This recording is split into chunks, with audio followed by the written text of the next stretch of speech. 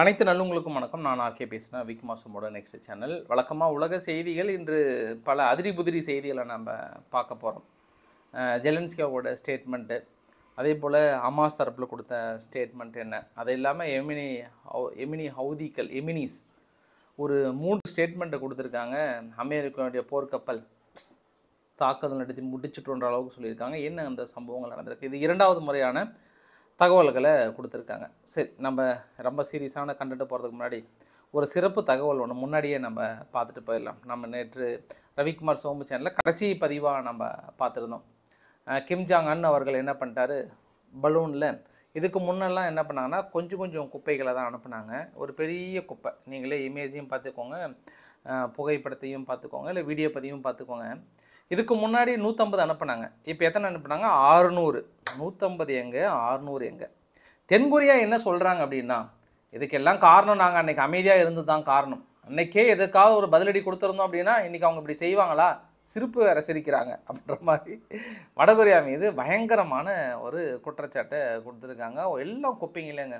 ரொம்ப சொல்ல முடியாத குப்பைகளை போட்டுவிட்டு அனுப்புகிறாங்க இவங்களும் எப்படி எப்படி நம்ம எடுக்கிறாங்க? ஸ்பெஷல் டீமும் ஃபுல்லாக கவரை போட்டுக்கிட்டு பின்னாடி அவங்க சிலிண்டர்லாம் வச்சுக்கிட்டு அப்படியே மூச்சு விட்டுக்கிட்டு மைக்குன்னது எப்படின்னா இந்த படத்தெல்லாம் போயிட்டு ஏன்னா வெடிகுண்டு இருக்குன்னு சோதனை பண்ணுவாங்க அப்படியே எப்படி தள்ளி நின்று கீங்க இங்கேன்னு சத்தம் வரும். அதுக்கப்புறம் பக்கத்தில் போய் அப்படியே எப்படி தள்ளி பார்த்தா அட குப்பைங்கன்றாங்கல்ல. அந்த மாதிரி பெரிய சோதனைகளை மேற்கொண்டு வடகொரியா ரொம்ப சோகத்தில் இருக்கிறாங்க. சார் தென்கொரியா ரொம்ப சோகத்தில் இருக்கிறாங்க.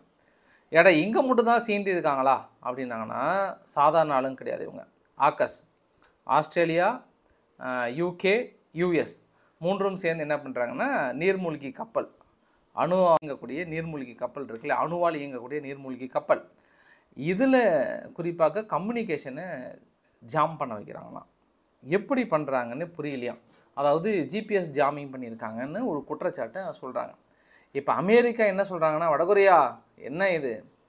ஏதோ தென்கொரியாவை பயன்படுத்துறீங்க அந்த பக்கம் ஜப்பானை பயன்படுத்துறீங்கன்னா அங்கே சுற்றி இங்கே சுற்றி கடைசியில் எங்ககிட்டயே நீ வந்து கை வைக்கிறிய? எங்களோட ஜிபிஎஸ்ஸே நீ ஜாமிங் பண்ணுறேன்னா நீங்கள் எப்படி ஏற்பட்ட ஆளாக இருப்பீங்க? அப்படின்னு இந்த பக்கம் ஆக்கஸ்னுடைய கூட்டமைப்பு வந்து எதிர்ப்பு தெரிவிச்சிருக்கிறது. கடும் கண்டனத்தை தெரிவித்திருக்கிறாங்க யாருக்கு அப்படின்னா வடகொரியாவுக்கு. இப்போ நார்மல் கண்டனம் இல்லைங்க கடும் கண்டனத்தை வந்து தெரிவிச்சிருக்காங்க என்ன ஆக போதோ தெரியல இந்த வடகொரியா வேறு சும்மா இங்கே சீண்டாமல் அங்கே சொன்னாமல் டெய்லி ஏதாவது ஒரு சேட்டை பண்ணிகிட்டே இருக்கிறாரு. என்ன நடக்க போதோ தெரியல. அமெரிக்காவே நேரடியாக போய் சின்ட்டான் அமெரிக்கான்னா கூட பரவாயில்லையே. மூன்று முக்கிய நாடுகள் அல்லவா? ஆஸ்திரேலியா யூகே யூஎஸ் மூணு பேர்த்தையும் போய் போய் சீண்டிட்டாரு அதுதானே மிகப்பெரிய விஷயம். ஸோ பார்க்கலாம். என்ன நடக்க போகிறது? மிரட்டலோட முடிய போகிறதா? இல்லை அடுத்து ஏதாவது நடவடிக்கைகள் எடுக்க போகிறாங்களான்னு பார்க்கலாம். நம்ம இன்னும் இந்த மாதிரியான சம்பவங்கள் பல காத்து கொண்டு இருக்கிறது உங்களுக்காக. அதனால் நம்ம டைரெக்டாக வீடியோக்குள்ளே போயிடலாமா? வீடியோக்குள்ள போகிறதுமே நீங்கள் நம்ம சேனல் சப்ஸ்கிரைப் பண்ணலாம். சப்ஸ்கிரைப் பண்ணிட்டு வாங்க. மறக்காம பெல் பட்டன் கிளிக் பண்ணி ஆப்ஷன்ஸ் கொடுங்க. வீடியோக்குள்ள போகலாம்.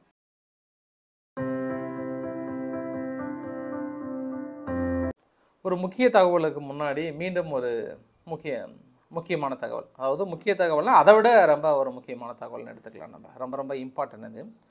செக் ரிப்பப்ளிக்கில் உக்ரைனுடைய சிட்டிசன் அப்படியே சும்மா அப்படியே லைட்டாக அங்கேயும் இங்கேயும் போயிட்டு அப்படியே உலாவிட்டு இருந்திருக்கிறாங்க. அங்கே என்ன பண்ணியிருக்காங்க? திடீர்னு ஒரு நபர்கள் வந்து டம்மா டம்மான்னு அடிச்சிருக்கிறாங்க போட்டு. யார் அப்படின்னு பிடிச்சி விசாரித்து பார்த்தா ரஷ்யனுடைய பாஸ்போர்ட் வச்சுருக்கவங்களாம். எப்படி நீ மாதிரி வந்து எங்களுடைய உக்ரைனுடைய மக்களை வந்து நீங்கள் பாதுகாப்பு கொடுக்காம இருக்கிறாங்க? இது வந்து அநீதி இழைக்கப்பட்டிருக்கிறது எங்களுடைய மக்களுக்கு அப்படின்னு ஜெலன்ஸ்கி தரப்பில் வந்து செக் ரிப்பப்ளிக்கு ஒரு கோரிக்கை ஒன்று வச்சுருக்கிறார்.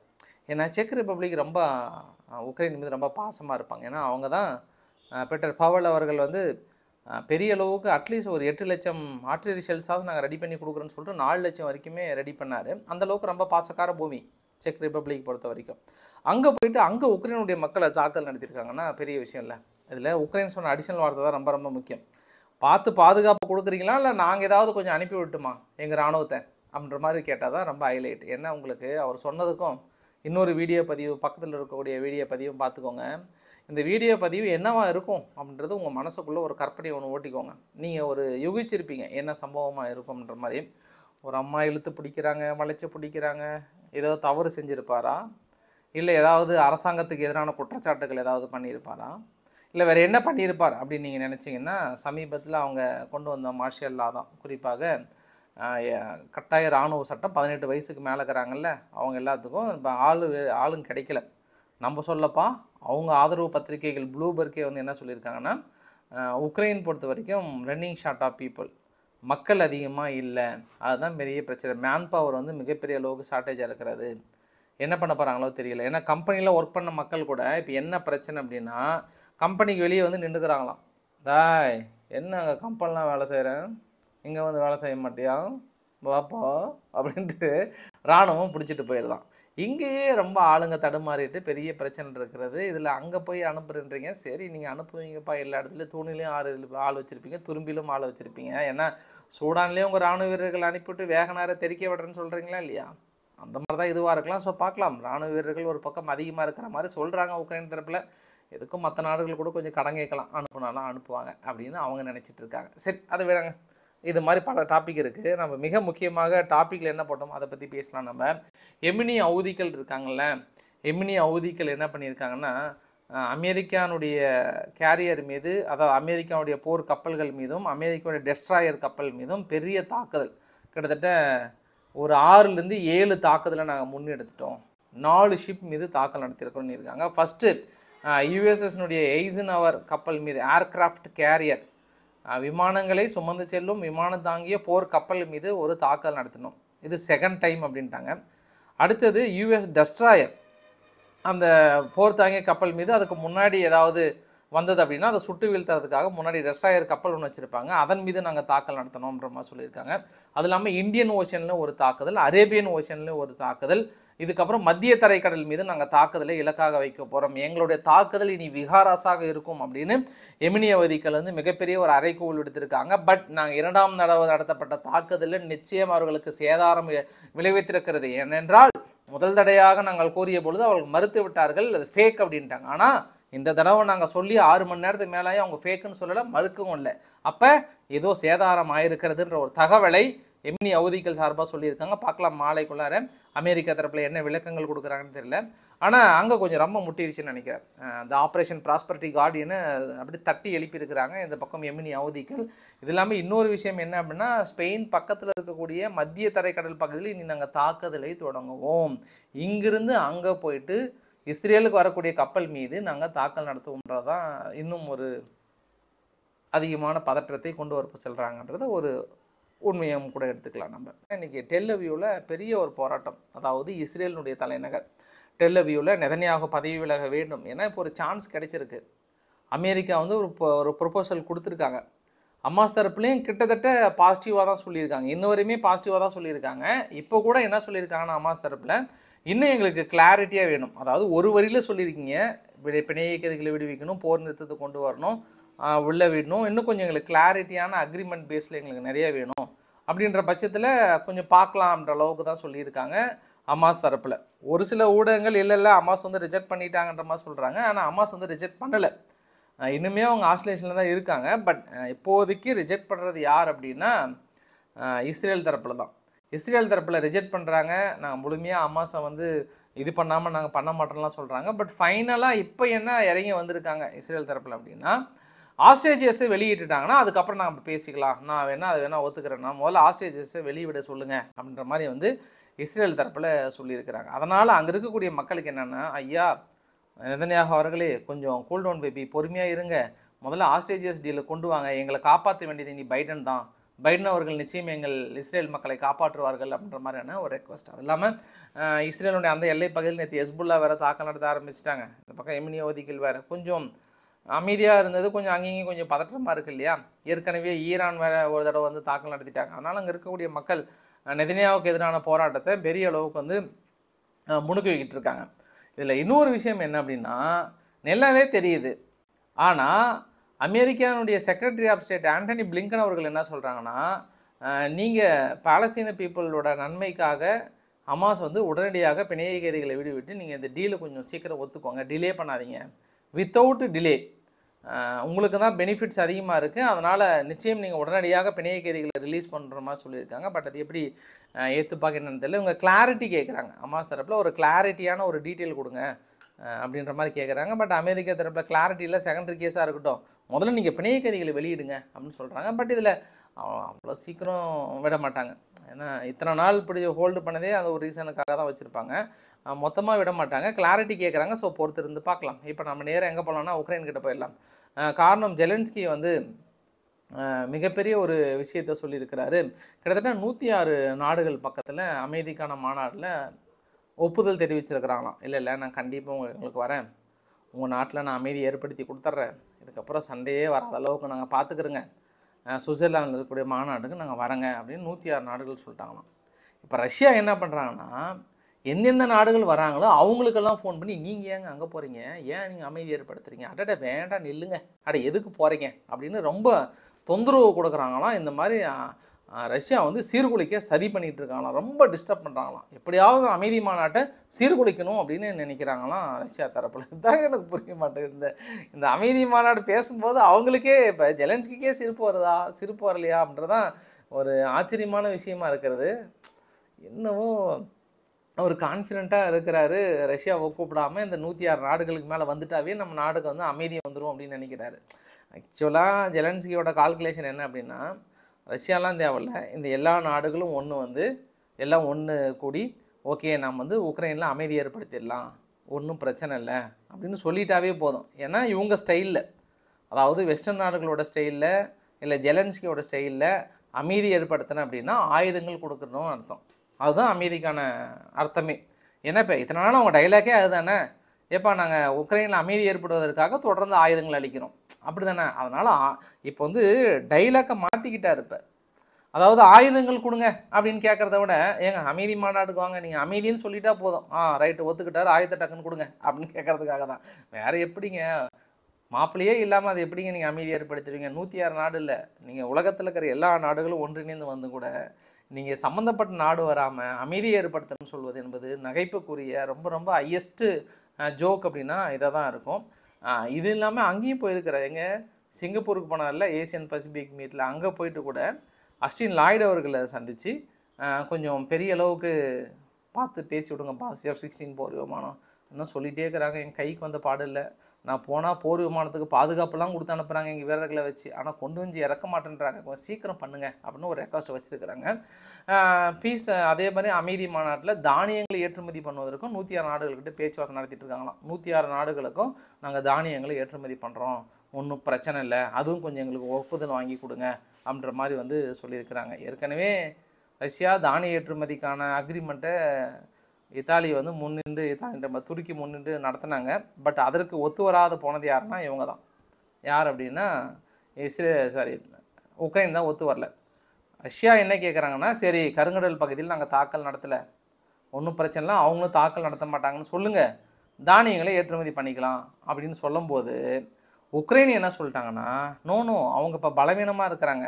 நாங்கள் நடத்திய தாக்குதலில் அவங்ககிட்ட போர்க்கப்பல் கூட எல்லாம் தடுமாறிட்டு இருக்காங்க. அதனால் இந்த மாதிரி சமயத்திலாம் நாங்கள் தானிய ஏற்றுமதிக்கு ஒத்துக்க மாட்டோம் அப்படின்னு இப்போ தாங்க ஜஸ்ட்டு ஒரு ஒன் மந்த்துக்கு முன்னாடி தான் அந்த டைலாக்கை சொல்லிவிட்டு திடீர்னு இன்னைக்கு ஓடி வந்து நூற்றி நா ஆறு நாடுகளுக்கு நான் இன்றைக்கி எஞ்சி கேட்குறேன் நான் வந்து தானியங்கள் ஏற்றுமதிக்கு நீங்கள் எங்ககிட்ட ஒப்புதல் வாங்கி கொடுங்க அப்படின்னா அது எப்படின்னு புரியல அவங்க. இல்லை அந்த நூற்றி ஆறு நாடுகளுமே கூட முன்னாடி இருக்கிற ஹிஸ்ட்ரி தெரியாமல் இருப்பாங்களா முன்னாடி நடந்த டைலாக்கை தெரியாமல் வந்துருவாங்களா அப்படின்ற அடிப்படையில் கேட்க சொல்கிறாரா என்னன்னு தெரியல. இதுவுமே ஆச்சரியத்துக்குரிய விஷயம். வெளியில் இருக்கிறவங்க கொஞ்சம் சிரிச்சுட்டு போயிடுவாங்க. என்ன ஆச்சு இந்த தலைவருக்கு அப்படின்ற அளவுக்கு வந்து சிரிக்கக்கூடிய டைலாக் தான். இதை விட ரொம்ப ஒரு சீரியஸான டைலாக்ங்க நீங்களும் ரொம்ப ரொம்ப சீரியஸ் ஆகிடாதீங்க லிதுவேனியானுடைய ஃபாரின் மினிஸ்டர் என்ன சொல்கிறாரு தெரியுமா? எந்த சூழ்நிலைனாலும் ரஷ்யாவுக்கு வந்து பெரிய உதவியாக இருக்கிறது பெலாரஸ் தான். நேற்று கூட பாருங்கள் போலந்துக்குள்ளே வந்து அந்த அந்த வீரர்கள்லாம் என்னென்ன பண்ணியிருக்கிறாங்கன்னு பார்த்தீங்களா இல்லையா? அதனால் நம்ம ரஷ்யாவை அடிச்சோன்னா போ பெலாரஸ் ஹெல்ப் பண்ண வரோம். நம்ம ஏன் செகண்டரி நேராக ஹெல்ப் பண்ண வரதுக்கு முன்னாடி அடிச்சிடலாமே? உக்ரைன் நீங்கள் என்ன பண்ணுறீங்க நான் கொடுக்குற ஆயத்தில் அடிச்சிருங்க. பெலாரஸ் அடிங்க. அட அடிங்க ஆளடி அடி அப்படின்ற மாதிரி வந்து சொல்லியிருக்கிறாங்க லிதுவேனியா. இது உக்ரைனுக்கே சாக்கா ஓ யாருப்பா அது நம்மளுக்கு ரொம்ப டஃப்பு அந்த மாதிரி நினச்சிருப்பாரு. அமெரிக்காவுடைய செல்ல பிள்ளைகள்லாம் சும்மாவா? அதனால் அடிங்க. ரஷ்யானுடைய டார்கெட் அடிக்கிறதுக்கு முன்னாடி பெலாரஸை முடிச்சிருங்கன்ற ஒரு ஐடியா கொடுத்துருக்காங்க. இவங்க ரஷ்யாவுடைய எதிர்கட்சியினுடைய தலைவர் அலெக்சி நேவலினுடைய ஒய்ஃப் இருக்காங்கல்ல யூலியா. இலியா நவல்னியா நாவல்னியா அப்படின்னு இருக்காங்க இல்லையா? இவங்க போயிட்டு ஃப்ரான்ஸ் அதிபர் மேக்கரன் அவர்களை பார்த்துட்டு ஒரு ஃபோட்டோ ஷூட்லாம் நடத்திட்டு பெரிய அளவுக்கு பேச்சுவார்த்தைலாம் நடத்தியிருக்காங்க. அரசல் புரசெல்லாம் என்ன செய்தி வருதுன்னா நீங்கள் உங்கள் வீரர்கள் அனுப்புகிறீங்க உங்கள் வீரர்கள் அனுப்புனீங்கன்னாவே ஆல்மோஸ்ட் ரஷ்யா கதை முடிஞ்சது தான் அவர் அதிபராக கொஞ்சம் முடிச்சிட்டாருன்னா என்னை கொஞ்சம் அதிபராக உட்கார வச்சிட்டிங்கன்னா பரவாயில்ற மாதிரி லைட்டாக அப்படி கேட்டிருப்பாங்கன்னு நினைக்கிறேன் நான். ஏன்னா இப்போ புடின் அவர்கள் போயிட்டா அடுத்து யார்? நீங்கள் பிடிச்சிட்டிங்கன்னா ஆல்மோஸ்ட் உங்கள் கண்ட்ரோலுக்கு வந்துருச்சுன்னா இப்போ எப்படி ஜெலன்ஸ்கி உட்கார வச்சிருக்கீங்க? அதே மாதிரி நீங்கள் சொல்கிறதெல்லாம் நான் கேட்குறேன் என்னையும் உட்கார வச்சிருங்கன்னு கேட்குறதுக்காக போயிருக்காங்களா? அப்படின்ற மாதிரி ஊடகங்கள் வந்து இப்போ இதில் ப்ளூபர்க்லேயே வந்து லைட் அப்படி எழுத ஆரம்பிச்சிருக்கிறாங்க. ஐயோ என்னப்பா இது? இந்த மாதிரிலாம் எழுத ஆரம்பிச்சிருக்கேன்னு நினச்சிட்டு. அதாவது நெக்ஸ்ட்டு பிரசிடென்ட் ஆப்ஷன் இன் அப்படின்னு போட்டு இது நேவல்னி ஒய்ஃப் அப்படின்ற மாதிரிலாம் போட்டு ஒரு கொஷின் மார்க்கை போட்டிருந்தாங்க. நம்மளுக்கே டஃப் கொடுப்பாங்க போல் அப்படின்னு நினச்சிட்டேன் நான். ஜி செவன் நாடுகள் என்ன பண்ணாங்கன்னா ரொம்ப ஸ்க்ரூ எடுத்து ஃபுல் டைட்டு பயங்கரமாக டைட் வைக்கிறாங்க. எதுக்கு அப்படின்னா இந்த பொருளாதார தடைகள் என்ன போட்டாலும் மிஸ் ஆகுதான் அமெரிக்கா ஜப்பான் அப்புறம் ஃப்ரான்ஸு இந்த பக்கம் ஜெர்மனி அப்படி மேலே போனால் இத்தாலி இவங்கெல்லாம் ஜி செவன் நாடுகளோட முக்கியமான நாடுகள். யூகே இவங்கெல்லாம் என்ன பண்ணுறாங்க ரொம்ப டைட் பண்ணி நம்ம என்ன பொருளாதாரத்தோட போட்டாலும் வேறு ஒரு நாடுகள் உள்ளே போகும் தடுக்கிறாங்க. இந்த மாதிரி வேறு ஒரு நாடுகள் உள்ளே போகிறத கூட டைட் பண்ணி முடிச்சிடணும் கதை என்ற அளவுக்கு வந்து மிகப்பெரிய முடிவு எடுத்திருக்காங்க. அதாவது நேட்டோ நாடுகள்லாம் என்ன சொல்லியிருக்காங்கன்னா ரஷ்யா வந்து இப்போ தேடிட்டு இருக்காங்க இப்போ. நேட்டோ நாடுகளில் வீக் எங்க அப்படின்ட்டு. அதாவது பலம் எங்க? பலவீனம் எங்க? பலவீனம் பார்த்து அடிச்சோன்னா காலியாயிரும் நினைக்கிறாங்க. நம்ம பலவீனன்றதே நம்ம கிட்ட இல்லைன்றதுன்னு அவங்களுக்கு தெரியல. கொஞ்சம் உஷாராக இருந்துக்கோங்க. ரொம்ப கேர்ஃபுல்லாக இருந்துக்கோங்க. எந்த நேரத்துலையும் நேட்டோ நாடுகள் அட்டாக் பண்ண தயாராக இருக்குன்னு இருக்காங்க. இதுவரை கொடுக்கப்பட்ட ஆயுதங்களில் உள்ளே போயிட்டு தாக்கல் நடத்தக்கூடாதுன்னு சொன்னது இத்தாலி ஒன்றும் ஓகே பண்ணல. ஹங்கேரி மோ அவங்க ஆயுதமே கொடுக்கல அவங்க. அதுக்கப்புறம் பார்த்தோன்னா பெல்ஜியம் இப்போ ஓடி வந்து இல்லை இல்லை நீங்கள் வந்து எங்கள் ஆயுதங்களை நீங்கள் உள்ளே போய் நீங்கள் தாக்கல் நடத்தக்கூடாதுன்ற அளவுக்கு வந்து சொல்லியிருக்கிறாங்க. ஸோ பொறுத்திருந்து பார்க்கலாம்.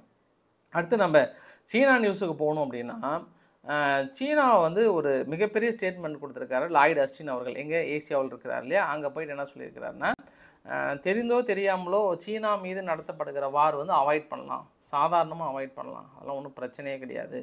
அதாவது தடுக்க முடியாத ஒன்றும் இல்லை அவாய்ட் பண்ண முடியாத ஒன்றுமே கிடையாது. அட் இன்எவிட்டபுள் அன்அவாய்டபுள் அப்படின்ற வார்த்தையெல்லாம் வந்து சொல்லியிருக்காங்க. சரி அவர் சொன்ன ஒரு சொல்யூஷன் என்னன்னா எப்படி சார் இந்த வாரை வந்து இப்போ சாதாரணமாக நீங்கள் ஃப்ரெண்ட்ஷிப்பாக போயிடலாம்னு நினைக்கிறீங்க? சீனாவுக்குன்னா ஒன்றும் இல்லை. ஏசியாவுக்குள்ளார நாங்கள் நேட்டோவை கொண்டு வரணும்னு நினைக்கிறோம். ஏசியா பசிபிக் வெர்ஷன் நேட்டோவை கொண்டு வரணும்னு நினைக்கிறோம் அதுக்கு அலோவ் பண்ணிட்டாங்கனாவே போதும். ஆட்டோமேட்டிக்காக போர் வராது.